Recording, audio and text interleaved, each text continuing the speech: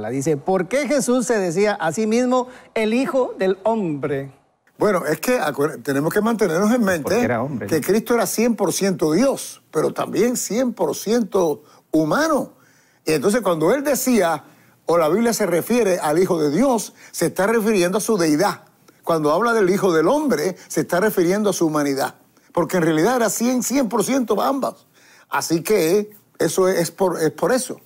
Eh, que hay diferentes referencias, una a la divinidad, otra a su humanidad. eso es cierto, pero hay que agregarle algo. En Daniel 7:13 y en la apócrifa judía se usaba para hablar de, de un personaje celestial llamado uno semejante al Hijo del Hombre. Entonces, también tiene la connotación de divinidad. O sea, Hijo de Hombre significa a veces persona. 82 veces se usa en los evangelios para hablar de Jesús. Pero es la palabra favorita de Jesús para hablar de sí mismo. Pero implica alguien que es de una naturaleza extraordinaria, como está en Daniel 7 y en otros libros de la apócrifa judía. Por eso es que, sí, es una palabra muy linda, es el título favorito de Jesús. Él se llama a sí mismo el Hijo del Hombre.